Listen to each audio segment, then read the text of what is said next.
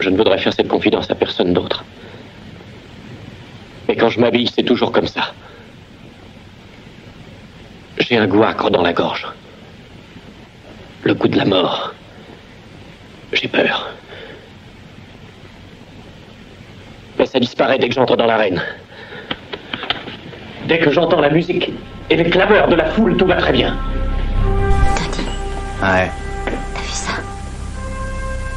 La même chose dans le film. Ah, t'inquiète, c'est de la merde ce film. J'ai l'impression qu'il y a quelque chose d'important.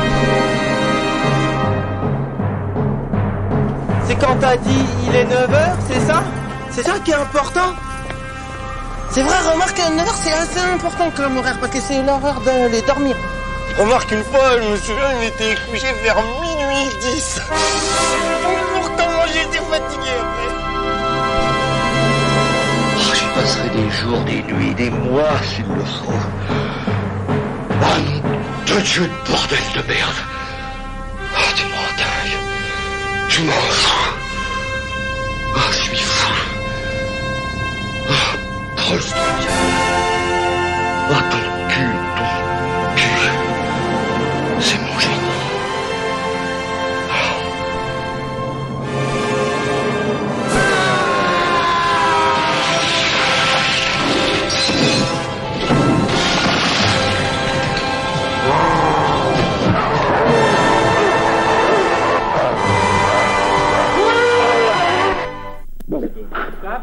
Mavoulian, cette première.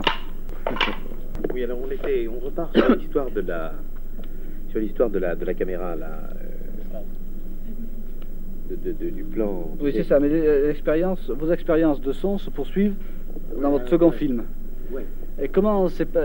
Le second film, on vous l'a proposé ou bien vous avez aussi choisi le sujet? Oui, euh, j'ai choisi le sujet, euh, et on m'a proposé le second film après, avec- après mon film d'Applause. Et cette fois, c'était à Hollywood. Alors, j'étais arrivé à Hollywood et mon second film s'appelait Les carrefours de la ville, City Streets, avec Gary Cooper et Sylvia Sidney. Et là-dedans, une pensée m'est arrivée qu'il serait euh, euh, euh, un enrichement du, du son sur l'écran, d'exprimer les pensées d'un caractère euh, sans parole, du caractère même. Et euh, la première fois, j'ai fait un gros plan de Sylvia Sidney, euh, un plan muet. Et pendant que vous regardiez le visage de Sylvia, vous entendiez sa voix, la voix de Gary Cooper, la voix des autres caractères dans l'histoire, des sonnettes, des bruits et tout ça, et qui euh, se passait dans sa tête, dans, euh, dans ses pensées, euh, ses souvenirs, ses pensées. C'est à peu près la méthode au théâtre que vous, euh, vous appelez, comment dites-vous? Aparté. aparté. Et il me semblait que c'était un dévice naturel et organique pour, pour l'écran. Et quand je tournais cette scène, même mon assistant, et vous savez, un assistant toujours pense que vous êtes un Julius César, mais il- euh, euh, même lui avait des doutes, des très grands doutes, et, tout le monde pensait que ça sera très confus, que, les euh, spectateurs ne savent pas ce qui se passe parce que c'est les lèvres de Sylvia ne bougent pas et toutes ces voix. euh, mais euh, je pense qu'on a euh, underrate, comment dites-vous ça Sous-estimé. Sous-estime euh, le public beaucoup, toujours. Bonjour et bienvenue, vous écoutez Le Cinéma est mort, l'émission nécrophile de Canal B avec bien sûr Antonin. Bonjour Antonin. Salut les kids. Et bonjour à vous pour une émission un peu particulière, euh, un peu putaclic peut-être, hein, puisqu'elle sera consacrée à un cinéaste euh, Ruben Mamoulian, on va se mettre d'accord pour dire Mamoulian, hein, euh, qui, euh, on va en parler hein, aujourd'hui, peut-être un peu oublié euh, du côté des, cinéphiles, une émission qui nous a été commandée il y a maintenant quelques années et malheureusement nous, avons mis un peu de temps en fait avant de réussir à, concrétiser cet enregistrement, commandé par Xavier Peltange, on peut le citer, hein, puisque via Tipeee, il a filé suffisamment de billets pour qu'on puisse citer son nom. Merci à lui de nous avoir mis dans cet embarras euh, dans- de nous avoir lancé ce défi, même j'ai envie de dire, puisque euh, je, peux le, dire, hein, quand euh, on nous a sorti ce nom de Ruben Mamoulian, je me suis demandé merde. Qui c'est ce bonhomme J'ai cru que c'était une blague aussi. Euh, Avant de me rendre compte que j'avais pu voir euh, deux ou trois de ces films déjà, mais j'avais jamais retenu du tout son nom. J'étais incapable, en tout cas, de, de dire euh, merde, qui c'est et, et du coup, ça nous a poussé il y a quelques années déjà à, à nous lancer dans cette dans cette filmographie assez particulière. On va y revenir. Étant donné qu'on a eu beaucoup de mal quand même à faire cette émission, à, à- à savoir aussi par quel biais la prendre. Ouais. Euh, c'est ça qui était le plus problématique Oui. parce qu'on on voit les Mm. films, euh, c'est bien, mais en fait, comment est-ce qu'on en cause euh, Comment est-ce qu'on en cause sans rentrer dans quelque chose d'un peu trop scolaire euh, qui, qui ne nous correspondait pas forcément Et Euh, d'autant que, en plus, contrairement à beaucoup de cinéastes de, de cette période-là, hein, parce que c'est quelqu'un qui a commencé à, après à l'arrivée du, du, du parlant, c'est pas non plus un des très très grands noms de l'Hollywood classique. Quoi. C'est pas quelqu'un, euh, c'est pas comme si nous avait commandé un- une émission sur Fritz Lang où tu dis, tu sais pas par quelle boule prendre parce qu'en fait, il faut se taper au moins 50 bouquins pour, euh, pour se dire, tiens, je vais essayer de trouver un- une voie un petit peu de traverse et tout ça. Non, Mamoulian, il n'y a pas grand-chose. Non, c'est ça. Euh, en, américain, en anglais, hein, il y, a- quelque chose. En français, euh, on a eu un livre qui nous a été transmis d'ailleurs par notre invité, puisque justement, euh, l'un des, des kicks qu'on a eu pour pouvoir faire cette émission, c'est que Antonin a réussi à débaucher l'une de ses collègues. En fait, que t'es pas allé ça. chercher très très loin hein, finalement, Euh, mais merci quand même. Ah, je l'ai Euh, chopé à la sortie de la fac. Mm. Nous avons donc le plaisir de recevoir autour de cette table euh, Kylian. Merci Kylian d'être avec nous aujourd'hui. Mais merci à vous de m'accueillir aujourd'hui. Et c'est grâce à toi que nous faisons cette émission en espérant que tu vas pouvoir, combler un petit peu euh, tous les, euh, les blancs que nous avons euh, à propos de, de Ruben Mamoulian. Tu as quand même, toi, fait un mémoire donc sur, non pas Mamoulian, mais sur Dr. Dr. Jekyll et Mr. Hyde, qui est l'un des, l'un des films que, que lui a réalisé, mais c'est pas le seul à avoir adapté ce, film non plus. On y reviendra évidemment tout à l'heure. Merci en tout cas d'être là.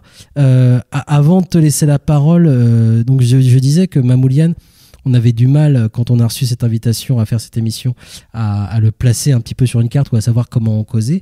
Et, en effet, en faisant quelques recherches, donc on disait peu de peu de textes sur lui, mis à part ce livre. Donc c'est Pierre Berthomieux qui l'avait écrit dans les années 90. hein. Merci merci Kylian de nous avoir prêté, qui reste quand même un exercice assez scolaire.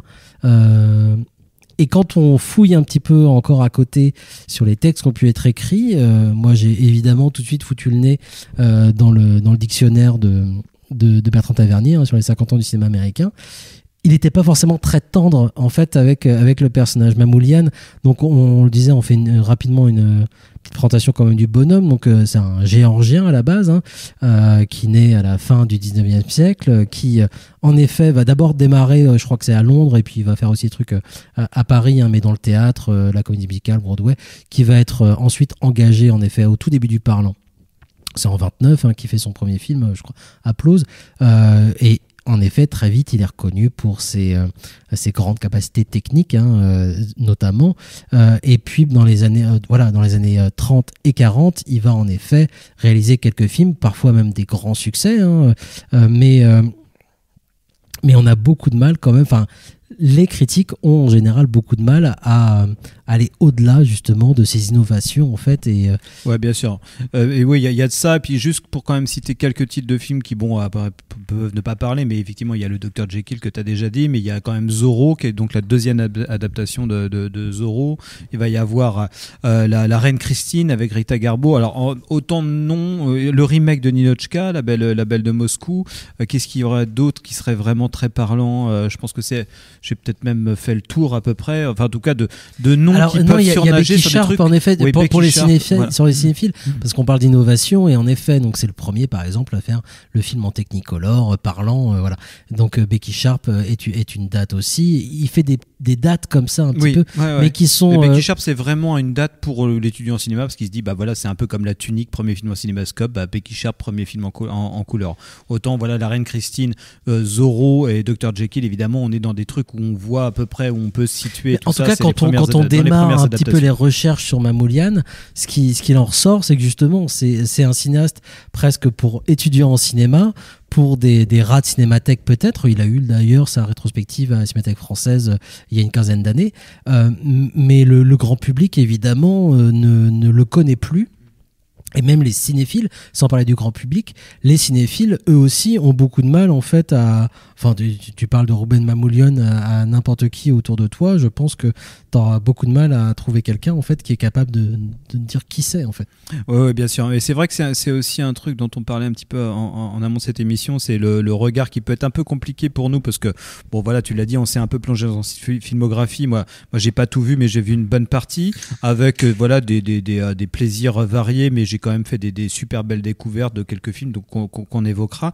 Mais euh, en tout cas, à chaque fois, j'ai été pris par ce double regard qui est celui du regard de bah, au moins l'ancien étudiant de cinéma à regarder le film et de me dire tiens euh, ah ouais ça c'est assez dingue il faisait ça dans cette année-là quoi. C'est-à-dire le regard un peu de quelqu'un qui, qui a une euh, qui a une sorte de conscience en tout cas de l'histoire du cinéma et de me dire mais comment il a pu faire ça techniquement euh, en, en- en 1931 ou en 1932 comment comment cet effet spécial peut arriver? Tiens mais que- comment ça se fait qu'il y a un ralenti dans un film de 1932 moi je pensais que c'était ça arrivait euh, 20 ans plus tard. Donc il y a y a, il y a ce regard de historien c'est-à-dire que bah nous, on, sait un peu, enfin, on connaît vaguement l'histoire des formes. On sait que voilà, il y a des, il y a des, le, langage du cinéma a, été fait par à coup comme ça avec des, des gens qui ont fait plein d'apports. Et quand tu vois ces films, bah, tu peux que, que, avoir ce regard-là. Ce qui peut aussi bah, complètement euh, euh, bah, biaiser la lecture du film parce que bah, le regard un petit peu euh, savant ou je sais pas quoi va, va, va prendre le, le pas sur le regard d'être dans le film ou pas.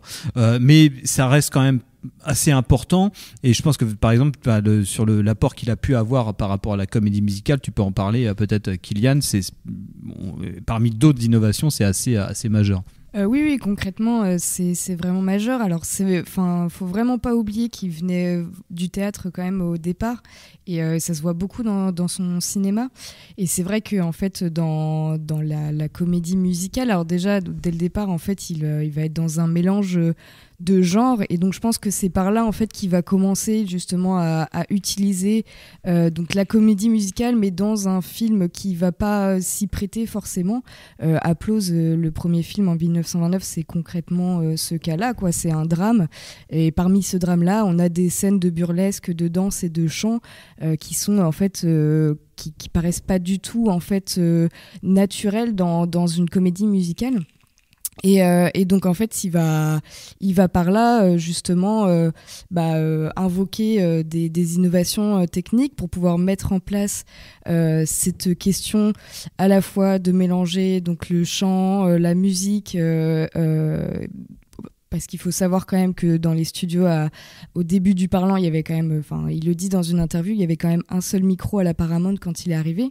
Et donc, en fait, avec un seul micro, qu'est-ce qu'on peut en faire? Et, euh, et c'est à partir de là, en fait, qu'il a voulu euh, mettre en place euh, plusieurs choses, euh, comme euh, par exemple faire une surimpression, en gros, de la, de la, de la pellicule euh, visuelle et sonore pour que, en fait, une deuxième piste de son soit aussi sur la pellicule. Et ça, c'est quelque chose qui aujourd'hui nous paraît un peu euh, bah oui c'est vrai enfin classique euh, normal quoi. Mais en fait euh, à l'époque c'était quelque chose de vraiment bah, innovant et nouveau quoi C'est à peu près ce qu'il dit, ouais, d'ailleurs, dans le, petit morceau d'interview qu'on a dit sur ce truc. Enfin, ce qu'il décrit, c'est vraiment quelque chose qui paraît euh, dans le, le- petit morceau d'interview qui succédait à notre générique. C'est un truc qui paraît complètement commun, quoi. Un gros plan sur quelqu'un avec des voix off derrière. Et euh, voilà, ça a été un apport, voilà, évidemment euh, considérable, mais qui paraissait évidemment, bah oui, évident aujourd'hui, quoi. Et je pense que tu vois, tu citais Applause, mais le film qui fait juste après, bon, bah, c'est ce fameux film Les Carrefours de la ville, là, ce film de gangster, mais celui qui fait après, Love Me Tonight. En termes de comédie musicale, là, moi, pour le coup, moi, c'est ma plus grande découverte euh, de tous les films de que j'ai vus. C'est vraiment le film qui m'a le plus enthousiasmé. Et ça se pose là, quoi. Enfin, en termes d'innovation euh, technique et pas uniquement, ouais, sur ce truc de, sur ce truc de son. Peut-être que tu peux même évoquer même le, début du film. C'est assez, assez ouf euh, ce qu'il fait, quoi. Euh, oui, oui, oui. Alors après, euh, le début du film, je me rappelle plus trop ce qui se passe. C'est que c'est la découverte de Paris, un matin à Paris en fait, et, euh, et en fait au fur et à mesure, donc on, on voit quelqu'un se réveiller, il y a un bruit qui apparaît, di- les uns après les autres, les en fait les les ouvriers, grosso modo, les gens qui travaillent à Paris, se réveillent, commencent à travailler, et donc apportent chacun, l'un après l'autre, en fait, un rythme. Et, euh, on accumule, en fait, le, le- le- les rythmes les uns après les autres, ce qui va créer un- une vraie musique, en fait. Et donc, tous les gens qui travaillent, tous les gens qui sortent, tous les personnages qu'on voit apparaître vont, vont apporter leur pièce musicale, en fait, euh, euh, au, début du film, vont s'accumuler jusqu'à voir apparaître euh, Maurice Chevalier euh, qui commence à chanter sur ce rythme qui a été euh, créé par euh, une grosse dizaine, voire plus de, personnages qu'on a vu apparaître dans une petite séquence. Quoi. Et c'est vrai que c'est assez fascinant. Et en termes de rythme, en termes de musicalité, en termes d'introduction de film, c'est une des, c'est vraiment une introduction exceptionnelle de, de, film. Enfin, c'est un gros gros plaisir en fait. En, termes de comédie musicale, voilà, c'est le film va être basé justement sur ce rythme, sur la et puis sur la vie en fait. C'est-à-dire que c'est il a, un- il a un talent euh, dès le départ, on, on s'en rend bien compte. Il a un talent quand même pour, euh, l'introduction euh, de personnages, de caractères, et puis surtout de, de non pas d'un cœur de film, mais en tout cas d'une ambiance. C'est-à-dire que là, on est clairement dans la vie, on va célébrer la vie, et paf, au bout de deux minutes de film, il t'a déjà annoncé clairement c'était quoi son projet, quoi. Et je trouve aussi intéressant dans cette scène, c'est aussi la fin où justement il y a Maurice Chevalier qui euh, ferme la fenêtre et, euh, et justement les sons s'atténuent et s'éteignent finalement. Et, euh, et à ce moment-là, je crois qu'il y a un truc genre ah les bruits de Paris, c'est pas forcément agréable. Et en fait, je me disais mais déjà en fait de voir ça dans la diesel, enfin la diesel, voilà. Je suis fatiguée. Euh, de voir ça en fait au sein de l'histoire, euh, ce côté euh, donc à la fois donc du, du son qui est vraiment conscient dans le film et en même temps en fait bah Enfin, le, moment où le personnage euh, prend lui-même conscience de cette musique qu'il entend bah, au réveil le matin et que en fait il va euh, l'enlever euh, par justement un obstacle qui est la fenêtre quoi. Et je trouve que rien que ça, pour moi, c'est déjà avoir une conscience de la de, du son et de, ses capacités et de ce qu'il peut faire au sein de l'histoire du film, qui est vraiment folle quoi. Et, alors, je sais pas si c'était parce que j'ai pas trop écouté l'extrait que tu as, diffusé, Antonin.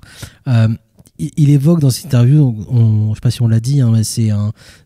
Il y a sur YouTube en ce moment, en tout cas, euh, les rushs d'une interview que André Labarthe a réalisé avec Mamoulian. Ça doit être euh, dans les années 60, euh, je pense, qui dure Je 1h40. signalais que Labarthe, c'est donc le, le- le patron de cinéaste de, de Notre notre, temps. temps, hein, qui était, Pardon, dont le oui. principe c'était vraiment ouais, qu'un cinéaste filme un autre cinéaste. hein, ça a donné des chefs-d'œuvre de- du documentaire. Oui. Euh, c'est trouvable en pirate euh, sur internet. Et sinon, il y a des euh, coffrets aussi euh, DVD qui sont abordables pour certains en tout cas. Mais euh, voilà, c'est là, c'est une interview non montée, donc ça dure 1h40. C'est vraiment, on va à la rencontre du cinéaste et on voit les rushs. Et très tôt, en fait, dans l'interview, euh, donc euh, Mamoulian revient sur évidemment sa, sa jeunesse, sur comment il en arrive au cinéma. Et, euh, et au tout début, dans mon souvenir en tout cas, il explique justement que voilà, il a fait du théâtre avant, il a fait de la comédie musicale, et quand il a cherché, euh, il a fait du cinéma, il a tout de suite en fait euh, cherché, bah voilà, qu'est-ce que le cinéma va pouvoir proposer que le théâtre justement ne, ne peut pas faire. Alors évidemment, ça passe tout de suite par des euh, innovations techniques. Ça va être par exemple un truc tout bête. On, sait bien qu'on parle du son, on parle pas assez souvent de son dans cette émission, Euh, mais euh, euh, j'ai un doute sur le film, donc je vais pas le citer, mais il s'agit donc d'une d'une jeune fille qui fait sa prière. Et puis à côté, bah c'est dans Applause, tout bêtement jeune fille qui fait sa prière et puis euh, au-dessus d'elle sa maman qui elle chante une chanson. Et comme tu le disais voilà il y a qu'une seule piste comment on fait? Donc voilà on va passer aux deux pistes pour pouvoir enregistrer à la fois la prière chuchotée de la jeune fille et puis la voix euh, de, de la maman qui chante. Avec une seule piste c'était pas possible. La maman qui chante évidemment aurait pris toute la place très vite quand même il se dit c'est pas juste pour dire tiens je fais une innova- innovation technique. C'est à dire que en effet il y a besoin de montrer en, en ce, ce, ce, ce, ce fossé entre les deux ces deux espaces différents mais dans le même plan pour montrer justement qu'elles cohabitent pas euh, euh, qu'elles cohabitent pas complètement quoi. Euh, cette innovation technique elle est euh, elle est euh, indispensable pour raconter son histoire grosso modo tout le long de sa carrière, qui va pas être si longue que ça finalement. hein. C'est vraiment les années 30, les années 40, et puis euh, même dans les années 40, déjà ça commence à partir de 40, euh, 42 en fait à, à disparaître. C'est-à-dire qu'il a une quinzaine d'années vraiment où il fait euh, une quinzaine de films. Il accumule, il enchaîne quand même. Le type est, est assez costaud. Et à chaque film, il va se poser cette question-là quand même. Voilà, pour euh, pour raconter cette histoire, euh, il va falloir que j'utilise telle ou telle technique. Et c'est vrai qu'on est non pas dans les balbutiements du cinéma, mais le, ce qu'on n'a pas redit, j'aime bien le rappeler quand même, c'est que l'arrivée du parlant a, ramené en arrière quand même le, cinéma. C'est-à-dire qu'à la fin des années 20, euh, on avait quand même des, cinéastes, euh, comment il s'appelle le monsieur qui a fait Wings? Wellman. voilà, ouais, Wellman par exemple pour le pour être pour, voilà le, le plus extravagant ou le plus le plus fascinant en tout cas, qui faisait des choses complètement dingues avec leur caméra et l'arrivée du parlant a tout bloqué. Il fallait euh, foutre la caméra dans une grosse cabine. Tout le monde a vu Babylone. hein. Hein, franchement, euh, tout le monde sait. Ah oui, c'est vrai qu'il y a cette euh, chose i- i- i- ignoble. Voilà. Et ben, ça, parce et ben voilà. Kylian est fan. Eh bien, et voilà. Ma, ma, ma- c'est exactement les personnages de Babylone. Il allait dans des caves pour euh, faire caca sur des crocodiles. C'était euh, exactement son style. Euh, mais voilà, il, c'est, c'est lui qui a permis en fait, enfin, qui a, qui a participé en tout cas à faire euh, cohabiter le parlant et puis justement ce que le cinéma était déjà capable de faire avant. Il faut revoir des films muets de la fin des années 20, c'est complètement dingue. Ce que je voulais dire, c'est que voilà, il a, contribué énormément justement à, faire tout ça pendant une dizaine d'années, à ramener du mouvement parce qu'il avait besoin de ça. C'était aussi venant du théâtre, je pense justement, il a besoin de montrer, mais non, le cinéma c'est pas, c'est pas la même chose et, en fait la caméra peut raconter d'autres choses. Le son du cinéma aussi permet de faire d'autres choses qu'au théâtre. C'est vraiment pas la même chose. Et ça, c'est très important. Je termine quand même rapidement aussi sur sa bio parce qu'on a, il y a un truc que j'ai pas dit tout à l'heure et ça me semble euh, assez intéressant quand même. Et après, je vous laisse revenir aux innovations techniques et comment ça permet de raconter correctement une histoire. Et on évoquera James Cameron. Merci Antonin. Mais euh, euh, il, donc voilà, il a la, à la fin des années 40, il a eu beaucoup de mal quand même. Je pense qu'il y a des projets qui fonctionnaient moins bien. Euh, et son dernier film date de 57 en fait, c'est ce remake de Ninochka euh, qui était avec Greta Garbo, mais là il le fait avec Sid Charis. Je tiens quand même à, à- et, Fred Astaire d'ailleurs. Je tiens quand même à, à dire parce que je l'ai pas précisé dans mon introduction, mais l'un de mes premiers souvenirs de Mamoulian, c'est justement la Belle de Moscou que j'ai dû voir quand j'étais euh, au lycée ou euh, je pense que c'était au lycée plutôt qu'au collège. Et, euh, et il s'agit d'un de mes premiers grands émois érotiques en fait. C'est le la scène de Encore, encore une innovation technique. c'est-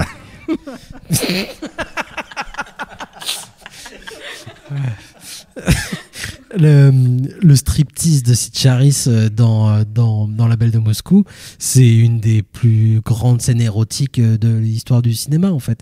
Euh, voilà, ça, déjà, c'est important. Et c'est son dernier film. Et euh, le, le seul projet concret qu'il a eu après, c'était Cléopâtre.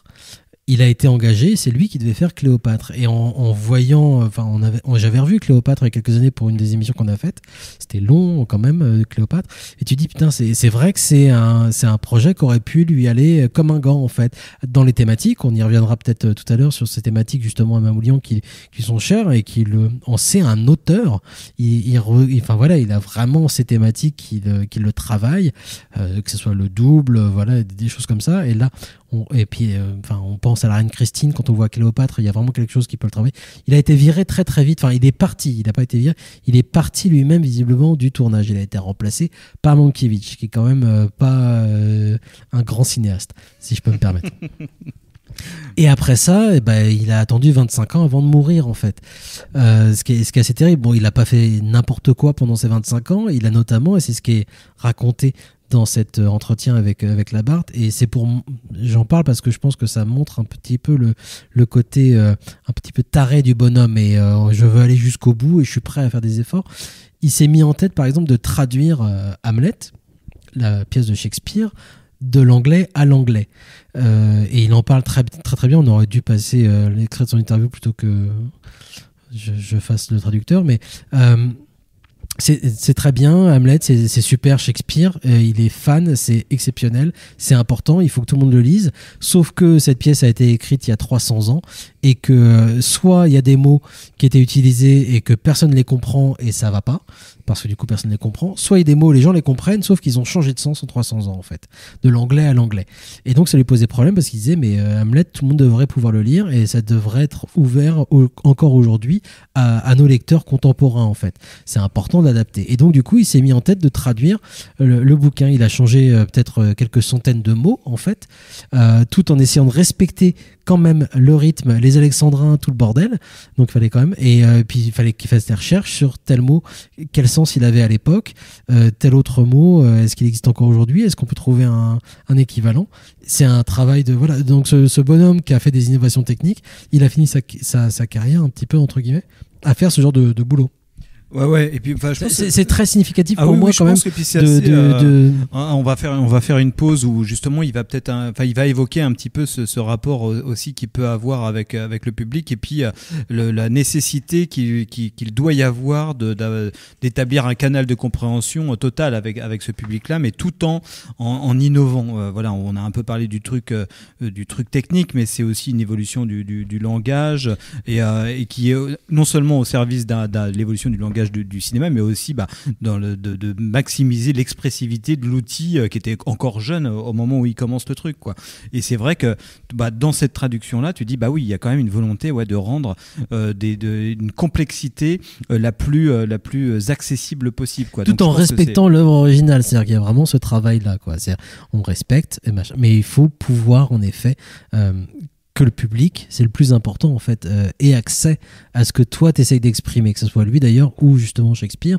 Et euh, juste, euh, à moins que tu aies envie de revenir après encore sur les innovations techniques, mais est-ce qu'on a parlé du, niveau sonore mais, mais pas longtemps après, par exemple, euh, voilà, c'est lui aussi qui fait les premiers travelling du cinéma parlant, par exemple. Bah, je pense, en tout cas, c'est un, un truc qui est même très étonnant dans Applause. Moi, je l'ai pas vu en entier parce qu'en fait, j'ai pas trouvé une copie correcte, donc j'ai regardé. C'est tout ça, c'est sur YouTube, mais dans des qualités déplorables. Mais, mais même Applause par rapport, moi, à d'autres films de 1929 qu'on peut voir du type Le Chanteur de Jazz, parce que Applause fait, fait partie de ce, ouais, de ce gros bagage de films, de comédie, euh, pas de, de premiers films parlants Il faut vendus que comme chaque tel. studio Voilà, ait son film parlant, Mais ouais. ceci dit, euh, le chanteur de jazz, moi je me rappelle avoir vu ça, c'est super chiant le chanteur de jazz, quoi. C'est- bien historiquement.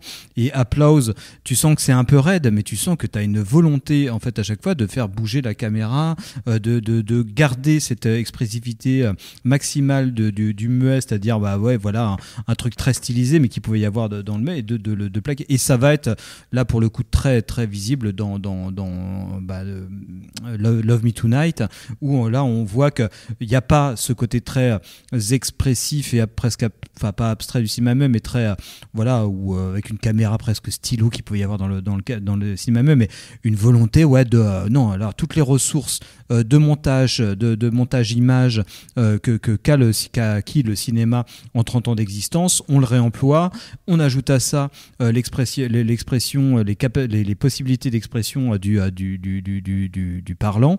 Il y a un gars qui est génial hein, avec euh, les trois tatas de l'héroïne qui, descend le truc et puis euh, leur, voix bah, pas désynchronisées mais on y en fait leur timbre de voix fait qu'on dirait des aboiements de chiens c'est hilarant. Enfin ouais, c'est une innovation technique mais tu vois les, les trois nanas qui descendent l'escalier mais c'est hyper drôle.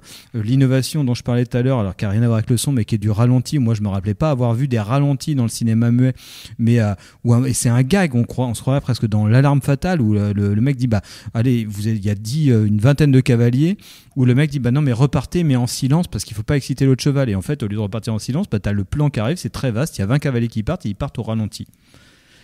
Et donc bah voilà il y a pas de bruit quoi. Et c'est mais c'est C'est les as. et, et c'est c'est les as mais c'est complètement les as mais c'est hyper drôle quoi. Et ça reste ouais une innovation technique ma- majeure. Enfin en tout cas un, un truc que t'as pas l'habitude de voir et qui C'est l'un des est rares films qui est sauvé au par Tavernier aussi. euh. Ouais, ouais, c'est vraiment euh, très très bon. Mais on va passer, ouais, du coup, à ce petit, euh, ce petit montage ouais, qui, où- qui va être euh, un extrait de La Belle de Moscou que tu aimes tant, euh, entrecoupé, euh, enfin encerclé plutôt par des, par des, euh, des propos de, de notre cher Rou- euh, Rouben Mamoulian, Mamoulian, je l'appelle, parce que je, je préfère.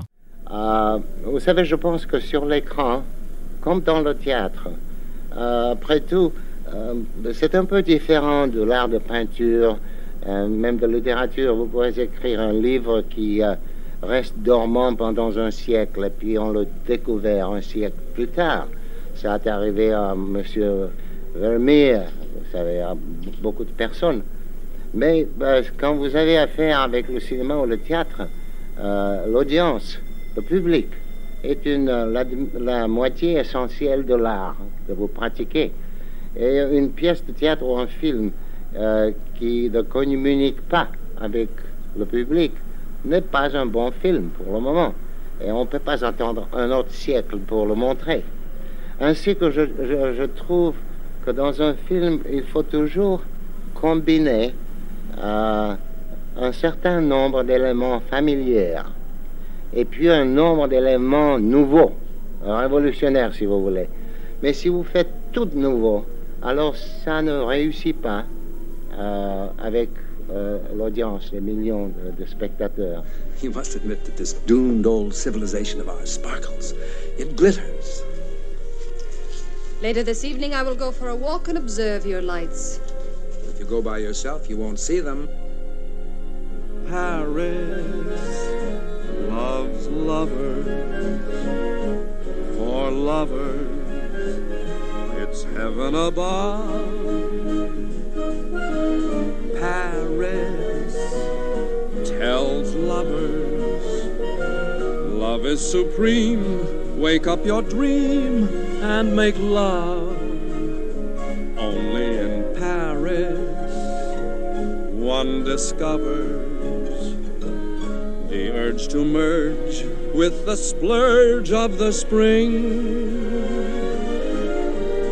Paris loves lovers, for lovers know that love is everything. Tell me, how many watts of electricity are consumed to light up this pleasure city of yours? I haven't the slightest idea. Why don't we go out on the town together and find out? The things I want to see can be seen better in daylight. The municipal works, the Reno automobile factory, the sewerage system. Will you show me those? I would hate to. Then I will go alone. What time shall I pick you up? Meet me in the lobby tomorrow morning at 6.30. 6.30? Can't you make it a little later, say 2? All right, dawn it is. Don't you ever have any desires to see the pleasures of Paris? Pleasures. Paris. How was it you said? The urge to merge with a splurge. That's right. Paris Capitalistic, loves lovers characteristic, for lovers. sensualistic. It's heaven above. They should be atheistic, Paris imperialistic. Tells lovers I'm pessimistic. love is supreme. Wake up your dream and make love. That's anti Only in Paris militaristic. one discovers You're optimistic, the urge to merge with the splurge of the spring. bourgeois propaganda, Paris unrealistic. loves lovers, for lovers know that love is individualistic is and not at all collectivistic, everything. but a low totalitarianistic thing. Après ça, le film le plus, j'ai fait plusieurs films en couleur, comme vous le savez, mais le plus sa- satisfaisant était euh, le- Les arènes sanglantes. Parce que dans ce film-là, j'ai traité les couleurs avec euh, autant de précision et d'attention que je traitais le dialogue. Euh, il, est nécessaire pour un film en couleur d'avoir un script coloristique, ainsi dire, euh, aussi important que le script actuel que vous avez. Et mon point de vue sur ça est que sur l'écran, comme sur la scène, les couleurs doivent être traitées non pas du point de vue scientifique, même non pas du point de vue esthétique. Parce que dans le théâtre, euh, comme dans la vie, euh, souvent ce qui est fonctionnel devient esthétique. Et euh, si vous suivez les couleurs et les utilisez sur l'écran du point de vue psychologique, qui est la- le plus important, parce que nous avons affaire avec la psychologie du public, des spectateurs. Le théâtre a affaire avec les émotions. Les esthétiques euh, euh, euh, sont le résultat immédiat de ça. Et du point de vue psychologique, les couleurs sont des émotions. Parce que quoique euh, le, il existe une certaine illitératie dans les matières de couleurs. Une certaine ignorance. Ignorance comme une, une langue étrangère. Mais même sans savoir euh, les euh, caractères des couleurs, chaque spectateur a des réactions physiques et psychologiques à certaines couleurs. Et ça doit contrôler l'usage des couleurs sur l'écran. On vient d'entendre Ruben Mamoulian dans toujours ce fameux, euh, bah, ce gros tas de rush de André Labarthe, déposé à la Cinémathèque française et qui s'est retrouvé eh ben, pour notre plus grand plaisir euh, sur, YouTube.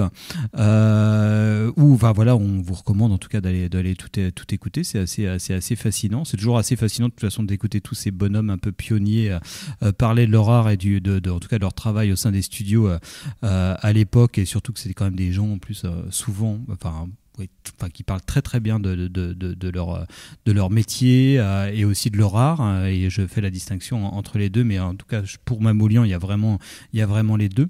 Euh, on, va peut-être aborder plus maintenant ouais, ce côté, euh, c'est très scolaire, hein, mais on a un peu parlé d'un truc un peu formel. Maintenant, on va aller s'attaquer au fond. J'aime pas trop cette distinction-là, mais, mais ceci dit, c'est vrai que quand, quand on travaillait, euh, quand on se regardait des films avec Étienne, euh, de, euh, en se disant bah, comment on va prendre ça, euh, on essaye bah, de, de prendre le truc sur cette bah, cette politique des auteurs dont on parle beaucoup en ce moment et se dire bah, tiens qu'est-ce que c'est euh, le, point commun entre tous ces films? Bon parce qu'une innovation technique c'est pas un point commun c'est un truc euh, très euh, voilà euh, Poiré aussi est un innovateur technique. Est-ce que c'est un auteur? On ne sait pas.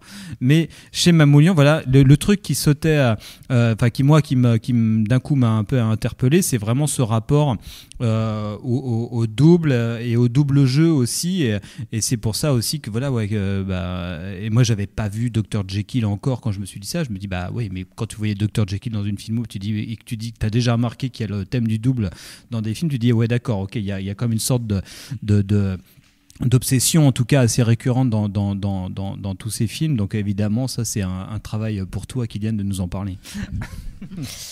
Euh, bah, clairement, en revoyant ces films, justement, je, je trouvais que ça sautait vraiment aux yeux qu'il prenait euh, dans ces films des personnages principaux qui se situent vraiment en marge de quelque chose et qui sont en fait toujours euh, euh, comment ils sont toujours scindés entre euh, leur nature qu'ils ont au départ du film et à la fin ce moment où ils se disent est-ce que je reviens euh, bah, à moi-même littéralement ou est-ce que je suis bah, ce que la société veut faire de moi? Et, euh, ça va être le cas par exemple dans, dans la reine Christine qui va justement euh, euh, être euh, au départ donc même annoncée comme étant euh, un homme qui va euh, être euh, alors qu'elle est donc elle passe sur le trône en étant enfant et donc, euh, elle, euh, elle va grandir, euh, assumer le trône, vraiment en plus de manière très badass, hein, on, peut quand même le souligner. Et, et, en fait, après, elle va rencontrer donc un homme, et ça va être le moment où elle va se dire bon, est-ce que l'amour triomphe sur le trône? Et surtout, bah, en fait, son, son peuple va s'opposer en fait à, cette union qu'elle qu'elle aimerait concrétiser. Et, et c'est là où elle va devoir, elle va devoir choisir entre bah, vivre sa vie de femme, comme elle le dit euh, littéralement dans le film, ou euh, bah, rester en fait euh, bah, au service de son peuple. Et, et donc. Au-delà même de ce film-là, euh, bah, dans Love Me Tonight, euh, au départ, on est quand même sur euh, un personnage, donc Maurice Chevalier, qui joue un tailleur, qui va être un peu arnaqué par, par un noble et, il va se retrouver en demandant la dette dans une proposition de se faire passer pour un baron. Et, donc, ça va bien l'arranger parce qu'il a une petite nana qu'il aimerait bien. Serré. qu'il aimerait bien serrer, littéralement. J'essaye de parler langage TikTok euh, pour, euh, pour les plus jeunes de l'émission. mais, euh, mais voilà, et, euh, et en fait, bah, euh, il va se retrouver, encore une fois, rappeler que bah, il est ailleurs et que bah, non, il n'est pas baron et que bah, il va devoir choisir entre la vérité ou justement bah, garder ce mensonge, mais rester en fait dans l'amour qu'il a toujours voulu. quoi. Et, et donc, bah, Jekyll c'est quand même bah, le film par excellence qui va, qui va montrer ça, puisque donc euh, Frédéric March joue le double rôle du Dr Jekyll et Mr Hyde, et, euh, et lui il va se retrouver donc euh, bah dans mon mémoire, j'ai un peu travaillé sur l'idée de la figure euh, progressiste euh, de Jekyll qui va en fait euh, vouloir expérimenter, qui va vouloir en fait comprendre un peu ces phénomènes qu'il a en- à l'intérieur de lui, psychiques. Et, et donc on voit très bien que bah, il a envie de se fiancer avec Muriel parce que clairement il a envie de concrétiser la chose et il a plus envie d'attendre. Mais il est toujours rappelé par euh, son beau-père que, bah, en fait, euh, non, euh, bah, valeur conservatrice à la fois de l'époque victorienne, puisque c'est une adaptation de, Stevenson euh, qui date de l'époque victorienne. Et, donc, en fait, on retourne sur ces valeurs conservatrices qui font, bah, non, en fait, tu vas rester frustré pendant quelques mois et tu vas attendre mon garçon. Et, c'est parce qu'il veut pas attendre qu'il va utiliser la potion. Alors, la potion dans dans les écrits, on a toujours le truc, c'est euh, ça peut être de l'alcool, de la drogue, n'importe quoi, mais ça va être le prétexte pour lui pour trouver une autre manière euh, de pouvoir assouvir ses pulsions euh, autre que par la voie classique et par la voie en fait que la société lui demande d'avoir parce que bah voilà c'est un scientifique un médecin qu'il est reconnu et qu'il doit absolument garder cette belle image propre de lui Mais ouais, et c'est un truc en tout cas qui court. euh, je sais qu'en fait, de toute façon, cette thématique du double, est hyper intéressante. Il y, a, y a aussi un film que tu n'as pas cité, mais là-dessus, mais qui est vraiment le truc tout con, hein, mais c'est voilà, c'est quoi. Où euh, là, Zorro, on est vraiment euh, bah, dans le, l'origine même même du récit de super héros qui travaille vraiment beaucoup ça. hein. On sait que voilà, Zorro, euh, ça a donné naissance à Batman dans tous les sens du terme, hein, même biographiquement, en tout cas dans la, dans la dans le, le lore de Batman en tout cas quoi. Mais mais c'est c'est c'est vraiment assez dingue ce truc-là parce qu'en fait, du coup, on est vraiment sur bah, le- quand, on a la thématique du masque et ça c'est un truc qui est très propre à ça, c'est que le masque en fait c'est pas le masque de Zorro en fait, c'est euh, plutôt le masque que va prendre euh, Diego de la Vega justement pour bien montrer que n'est pas Zorro quoi. Donc il va euh, surjouer un autre type de personnage et en fait c'est très riche ce truc-là parce que ça ça induit vraiment, bah, ça va mettre en évidence bah, les fonctionnements sociétaux, de- d'acceptation sociale, de, de, de- au contraire de répudiation euh, sociale.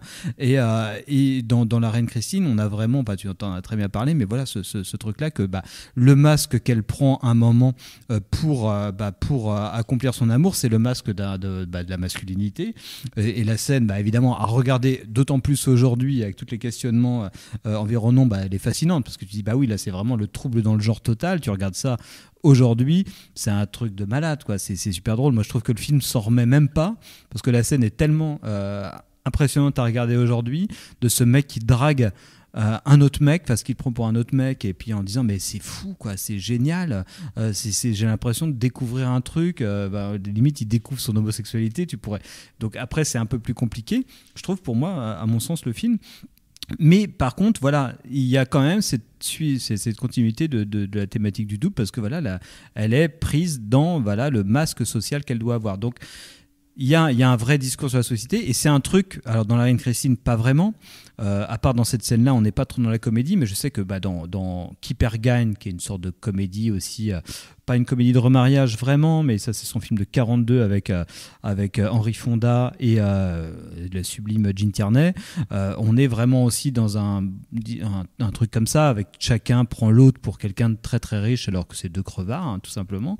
Et, mais bon, voilà, on va mettre en évidence ce, ce- bah, le, le jeu social et bah, en termes de comédie, bah, ça, ça fonctionne à plein, quoi, hein, à base de, de quiproquos et tout ça. Et on, bah oui, moi je trouve que en tout cas dans Keeper gagne ou euh, Love Me Tonight, il, trouve, il tire un parti assez fou euh, de, de, de, ce truc-là en potentiel comique, quoi. Mais je trouve aussi que, euh, si on, on dézoome un peu sur, sur ça, bah, on voit que dans les années 30, alors déjà, il y a eu la crise de 29 quand même, qui a été vachement importante dans l'histoire de l'Amérique et du cinéma. Et je pense que euh, Mamoulian, il a vraiment bien capté justement ce moment où à l'arrivée de la crise, et ben les... il y avait plus, euh, enfin il y a eu une espèce de table rase des choses où, euh, bah, par exemple, les classes sociales, elles étaient plus du tout euh, définies, enfin elles étaient redéfinies et elles étaient complètement extrêmes. Bah, par exemple, la place de la femme, où pendant les années folles, les années 20, euh, c'était les libertés, ça fume, ça danse, ça met des robes où on voit les chevilles. Et en fait, on revient dans les années 30 sur quelque chose où, hop là, on va reculer un peu parce que là, on est un peu allé loin, on sait pas trop où on va et on sait pas trop ce que ça donne.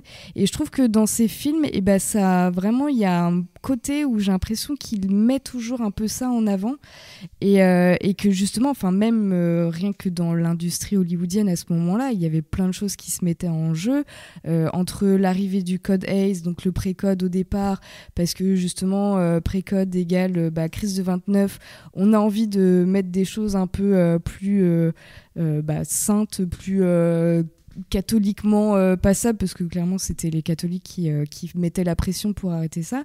Et d'un autre côté bah en fait c'est des films spectaculaires qui marchent. Notre industrie elle est en crise en ce moment bah clairement en fait on a besoin de mettre des choses spectaculaires des nanas euh, qui sont un peu euh, dénudées euh, pour que le public vienne toujours et, et lui bah justement il arrive en 32 avec Jekyll et Hyde et, et ça retrace tout ça en fait dans, dans un seul film quoi et donc je trouve qu'il il arrive vraiment à capter quelque chose de très réaliste dans ses films par rapport à la société américaine à ce moment-là quoi. je suis absolument d'accord, bien évidemment. Il y a un- le film dont on a déjà évoqué, Un label de Moscou, qui est encore une fois un film assez euh, méprisé par euh, euh, même les gens qui aiment beaucoup Mamoulian en fait, qui lui aussi rentre dans tout ce que vous avez pu dire en fait, à savoir justement, donc c'est un remake de Ninochka, hein, donc cette euh, femme russe euh, qui doit venir aux États-Unis en fait pour promouvoir je sais même plus quoi d'ailleurs, euh, je sais plus pourquoi elle est en, en, en- Amérique. Pour euh, le il y avait un compositeur en fait qui C'est ça, voilà. C'est c'est vraiment le, un prétexte. Mais justement, il y a toute l'histoire Mais, du mais l'idée, c'est voilà, de- voilà. enfin, l'idée, c'est de voir euh, cette femme russe qui est vraiment une communiste convaincue, qui vit aux États-Unis, qui découvre le mode de vie américain avec cette liberté qu'elle n'a pas là-bas, et qui va devoir lutter. Pardon. C'est à Paris qu'elle est. C'est à euh, Paris en plus, oui. Mais bon. Oui, t'as raison. Mais euh, ce- elle découvre en tout cas une liberté qu'elle n'a pas euh, chez elle, en fait. Et l'idée, c'est justement, elle va devoir lutter contre ses, ses envies de liberté, son goût de, de ce qu'elle découvre, en tout cas sur place, et puis ses convictions, en fait, euh, qu'on lui a inculquées, qu'elle n'a pas choisi, en fait, mais que voilà, qu'elle vit là-bas. Donc, on retrouve encore toutes ces thématiques. Et c'est quelque chose qu'on qu'on voit toujours, mais c'est quelque chose qui a jusqu'à son, à son dernier film justement, c'est présent en tout cas cette euh, ce combat entre des gens à qui on on, on demande euh, de, de- on leur demande de représenter quelque chose, d'être quelque chose, mais eux ils ont envie d'autre chose.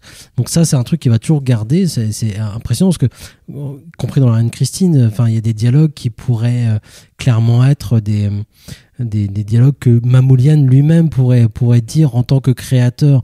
Un extrait qu'on entendra tout à l'heure, justement, euh, pour, la, pour la fin d'émission, où, euh, où la reine Christine euh, découvre le bonheur, grosso modo. Et, et c'est voilà, c'est cette, cette liberté de, de pouvoir enfin vivre de, de, ses, de ses pulsions, de ses passions, surtout, en fait. Il y a un truc qui m'intéresse moi beaucoup chez Mamoulian. On a évoqué donc la technique, on a évoqué les thématiques. Moi, ce qui m'intéresse beaucoup, c'est comment justement et pourquoi. J'ai pas toutes les réponses, hein, mais euh, il utilise les techniques euh, pour justement euh, évoquer toutes ces passions et tous ces conflits euh, intérieurs. Et c'est pour ça que évoqué, alors un peu à la rigolade, euh, introduction euh, James Cameron, mais, euh, mais quand Mamoulian évoque justement la couleur ou le son ou le mouvement en fait dans sa mise en scène, il me semble que c'est pas gratuit du tout en fait.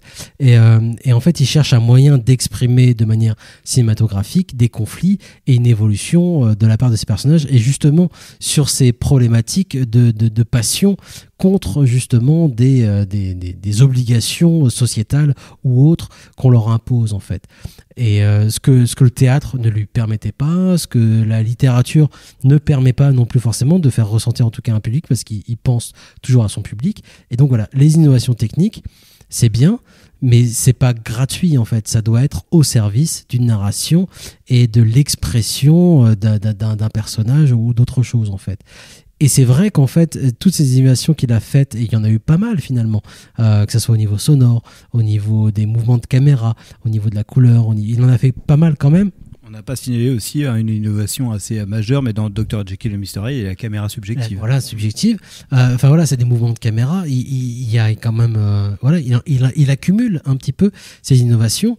Elles sont pas gratuites. Alors comme euh, on l'a entendu hein, dire tout à l'heure, il faut pas que ça soit justement un film uniquement une accumulation d'innovations. Ce serait un peu simple et ça, on rentrerait dans le cinéma expérimental. C'est pas ça qu'il cherche absolument pas. Lui, il reste quand même dans une forme assez classique de, de narration, mais innovatrice. On s'en rend pas forcément compte aujourd'hui, mais c'est très innovateur. Et en effet, il le disait, les, chefs de studio se demandaient est-ce que les gens vont comprendre euh, ce qui se passe si jamais on entend des voix mais qu'on voit pas les gens parler, ils vont pas comprendre. Bref, tout ça pour dire que ces innovations techniques, elles sont importantes, on s'en, faut vraiment s'en rendre compte, elles sont très importantes parce que c'est nouveau, euh, mais elles sont au service de la narration. Et c'est vrai qu'aujourd'hui, finalement, euh, moi, la seule personne à, qui ça me faisait penser, c'était James Cameron, Euh, parce que ça me rappelait en fait euh, euh, ce que disait James Cameron à propos de l'utilisation des effets spéciaux dans Terminator 2.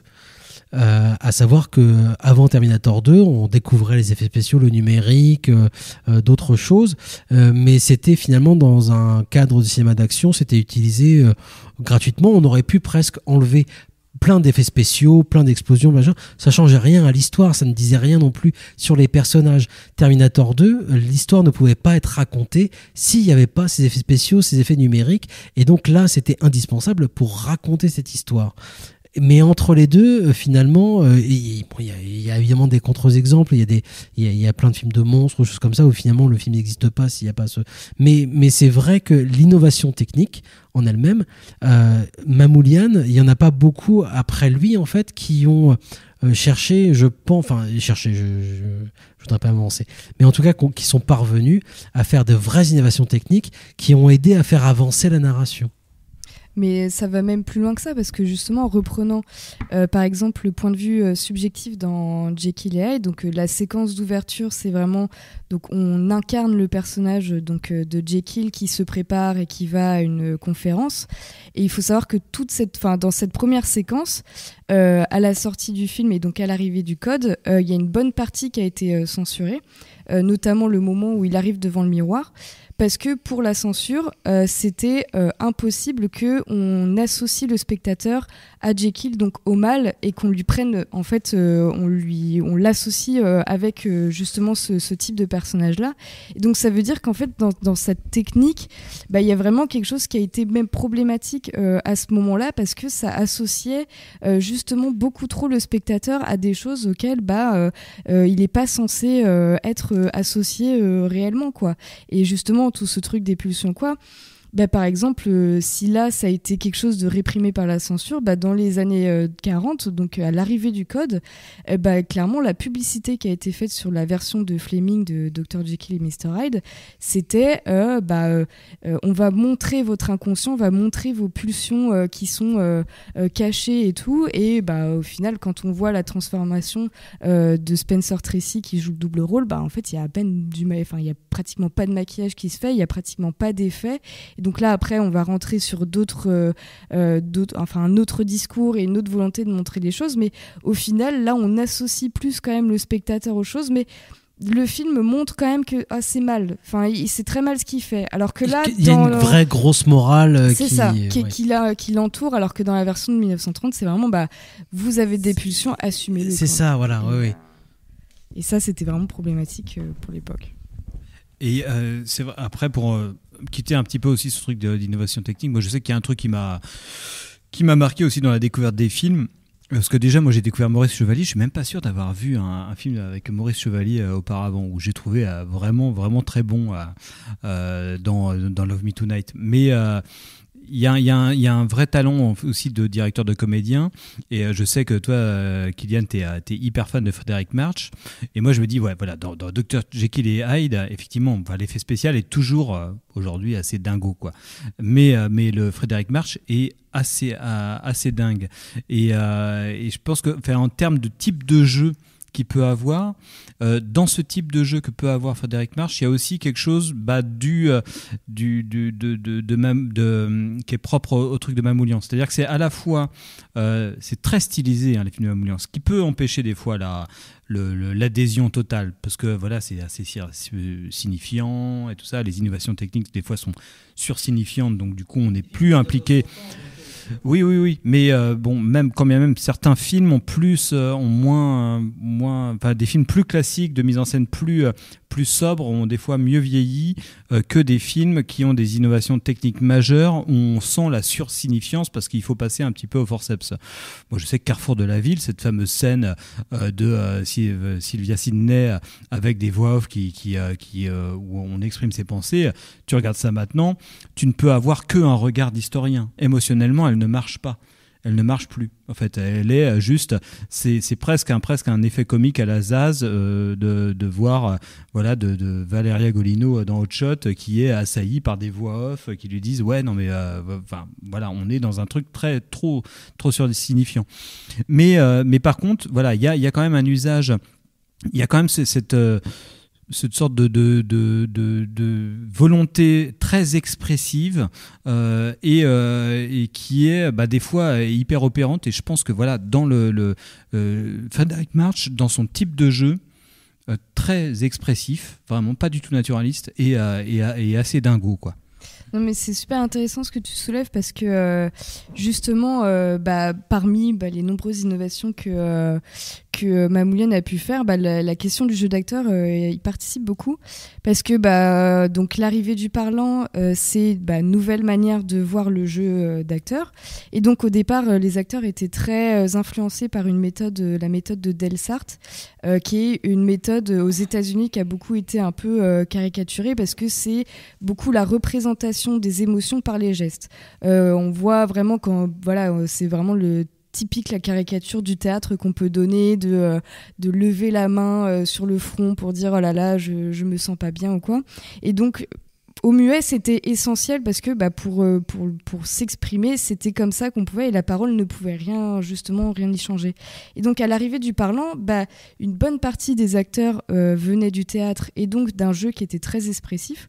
Et même Oulian, lui, euh, étant passé en Russie et a fait de- des études là-bas, il a été formé sous un étudiant de Stanislavski. Et Stanislavski, c'est un des premiers en fait à importer euh, une méthode un peu différente qui, euh, qui donne une part de psychologie un peu plus importante et qui est à l'origine un petit peu de l'acteur studio qui va arriver après. Il en parle, hein, pardon, je te coupe, mais Ouais. euh, Mamoulian a, a parlé de l'acteur studio justement en disant bah, être plus royaliste que le roi. hein, c'est comme ça qu'il exprimait l'acteur studio, c'est-à-dire que reprendre ce que faisait Stanislavski, mais, euh, mais les acteurs souffrent. Mais ça revient au même, mais par contre, les acteurs souffrent. Mais ça, et justement, dans le film, c'est ultra intéressant parce que euh, March venait euh, donc d'une méthode très expressive à la Delsart, et euh, lors des discussions, bah, Mamoulian était en mode bah non, c'est quelque chose où tu as vraiment une part de psychologique qui est vraiment extrêmement importante. Déjà, par le maquillage dans Hyde, il va y avoir en fait quelque chose qui va ressortir du personnage, et donc dans ton jeu, tu te dois d'être un peu plus sobre et d'essayer d'atténuer un peu tout ça. Et, et en fait, on voit au final que March, il est toujours dans un entre-deux. Et je trouve que dans son jeu, il y a des choses qui sont vachement intéressantes parce que, bah, par exemple, il a, pour moi, il a les mains. La gestuelle des mains, elle est assez particulière.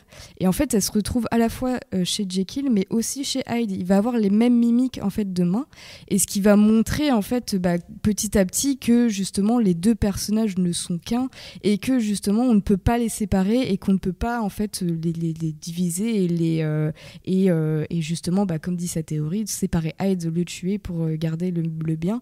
Et bah non, en fait, parce que même rien que dans le jeu, et bah, le jeu, il est lié entre les deux personnages et ils ne peuvent pas se, rien que là-dedans, ils ne peuvent pas se séparer. Il va être temps malheureusement de, terminer cette émission.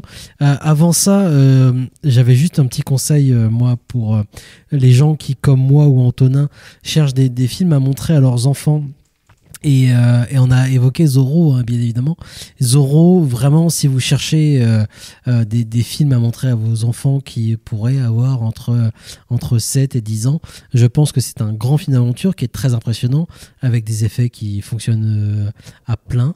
Euh, et, puis, euh, et puis, en effet, avec tout ce qu'on a pu dire jusqu'ici, hein, mais bon, c'est les enfants qui regardent, ils ont pas tout. euh, mais, mais vraiment, je, je conseille. Et puis, en tant que spectacle, même pour les adultes, moi, je sais que je l'ai revu deux fois là en espace de, quelques semaines. C'est un, spectacle assez, euh, assez sensationnel, on va dire. Ça fonctionne du, tonnerre de Dieu. Et pour tous ceux qui sont fans de films super-héros, en effet, on a toute la base aussi qui est présente. Je rappelle aussi que City Streets, par exemple, dont on parlait, euh, est sorti lui en Blu-ray euh, chez euh, chez Rimini. Euh, Il y a assez peu hein, finalement de d'objets qu'on peut qu'on peut trouver en est France. disponible chez Elephant. Zo- Zorro est toujours disponible. On a aussi Arène Sanglante qui était sorti il y a maintenant pas mal d'années d'ailleurs, je crois. C'était chez Wildside ou chez Carlotta, je ne sais plus. Peut-être bien Wildside. Mais c'est vrai qu'en France, mis à part MGM, pour qui Mamoulian a travaillé, euh, qui, qui a pu sortir, on peut retrouver des DVD, hein, des, des vieux DVD quand même de certains films, que ce soit La Reine Christine par exemple, euh, ou, euh, ou je ne sais plus quoi d'ailleurs. Mais il y a quelques MGM en tout cas de La Mamoulian Reine Christine, en tout cas, il est disponible en tout cas en- sur, sur Ciné Plus en ce moment, Ah mais bah dans des copies euh, très belles. Voilà. Et, mais, mais voilà, il y a quelques films quand même qu'on peut retrouver, mais même la, la Belle de Moscou hein, a été sortie en DVD, donc il y a quand même quelques films de Mamoulian qu'on peut trouver. Mais c'est vrai que bah, aujourd'hui, ça reste finalement non seulement un cinéaste qui est, euh, qui est oublié, le, le- dont, le nom ne parle pas à grand monde, et, euh, donc évidemment les euh, distributeurs d'objets n'ont pas forcément d'intérêt hein, à, sortir ces choses-là, mais euh, on n'a pas forcément évoqué Arène Sanglante, on va, on l'a entendu, Mamoulian en parlait hein, tout à l'heure d'Arène Sanglante, euh, même si c'est loin d'être son meilleur film, c'est vrai que visuellement tu te dis bah tiens si on, si on avait une restauration euh, bonne du film, le moindre plan du film est une peinture en fait visuellement c'est assez exceptionnel. Quand Albert Serra fera son film sur la tauromachie, euh, il va le sortir l'année prochaine. Peut-être que La Reine Sanglante ressortira parce que c'est Voilà, tellement mais- vendeur Albert Serra que tous les distributeurs Évidemment, évidemment. Mais je conseille en tout cas même Arène Sanglante avec voilà c'est euh, qui fait la même année que Zorro hein, avec euh, le même acteur, enfin le même couple d'acteurs d'ailleurs. Euh, moi je le conseille même si c'est pas son meilleur film loin de là. Il y a quand même voilà, déjà visuellement c'est assez exceptionnel. Merci en tout cas Kylian. Merci beaucoup d'avoir participé à cette émission et d'avoir permis d'ailleurs à cette émission d'exister. Sans ça, euh, s'il n'y avait pas eu ta présence, on n'aurait jamais fait cette émission sur, euh, sur Monsieur Mamoulian. Mais merci justement bah, à celui qui a donné euh, les sous-sous pour faire euh, pour demander cette émission. Et puis bah merci euh, merci à vous de, de contribuer et puis bah, de mettre en lumière quand même ce réalisateur que je trouve qui est vachement intéressant et j'espère que bah en écoutant l'émission les personnes comprendront que vraiment il a participé vraiment grandement au cinéma et, euh, et je pense que c'est ça le principal euh, à dire euh, ce soir quoi. Merci. C'est pas pour ça que tu auras une part des 100 euros. hein. Non, faut pas déconner. De toute façon, ils ont déjà été claqués il y a déjà longtemps. Malheureusement, hein. donc n'hésitez pas en tout cas, si jamais euh, des auditeurs ont des envies particulières, hein, je sais que on a pu faire d'autres émissions euh, via Tipeee comme Sergio Leone par exemple. Et il y en a une prochaine de prévue euh, en rapport avec Mamoulian, hein, Jean-Marie Poiret. Tout à fait. Alors comme quoi, on a vraiment des auditeurs qui sont des pervers. Hein. Vous pouvez pas nous donner des trucs genre Zack Snyder, euh, Guy Ritchie, Non, non, pas, des pas, trucs pas, comme pas, ça. pas. Je préfère largement me faire tout Jean-Marie Poiret qu'un seul Zack Snyder. Non, je refuse. Ouais. Non, il va falloir refaire le Tipeee si vous voulez faire une émission. On va Zack faire une Snyder, liste de mecs ça coûtera dire, beaucoup ouais. plus cher. Mais euh, en tout cas, n'hésitez pas à aller sur Tipeee et ça nous permet aussi, nous, d'acheter des DVD de Mamoulian, par exemple, quand il faut en acheter, euh, ou de, voilà, de préparer ces émissions. Euh, C'est un plaisir, même si ça met parfois plusieurs années et toutes nos excuses à Xavier donc qui avait euh, participé qui avait commandé cette émission toutes nos excuses d'avoir mis euh, tant d'années à la faire, mais ça y est, elle est là. Et j'espère que c'était euh, suffisamment intéressant à votre goût. Merci à vous de nous avoir écoutés. Vous pouvez retrouver cette émission sur le site de Canabé, bien évidemment, euh, en podcast, et puis retrouver le lien hein, sur tous les réseaux sociaux que le docteur utilise pour, euh, pour réécouter cette émission. Merci encore une fois, Kylian. À très bientôt. Et puis, euh, n'hésite pas, si jamais tu as d'autres mémoires euh, sous ta sacoche dont, que tu aimerais évoquer. Ah, ça suffit largement pour ça, ça le sera- dernier.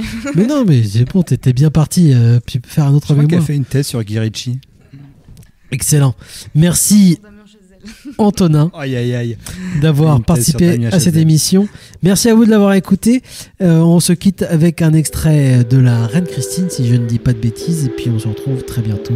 Ciao. Des bisous. Que faites-vous? J'essaie d'imprimer ces images en moi. Plus tard, dans ma mémoire, je reviendrai souvent dans cette chambre. Attendez, je vous révélerai le monde entier.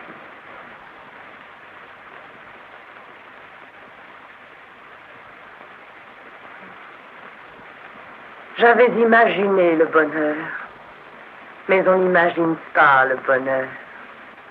On éprouve le bonheur, de même la joie. Toute la joie que j'éprouve maintenant. Antonio. Oui. C'est ce que Dieu a dû ressentir quand il contempla son œuvre achevée et qu'il vit ses créatures respirer, vivre,